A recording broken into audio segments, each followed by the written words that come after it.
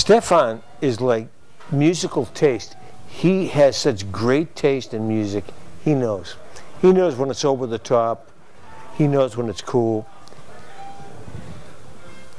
He's got just great taste. That's all I can say. And he's man. I haven't been here one second when when he has said, Jerry, what do you need? What do you want?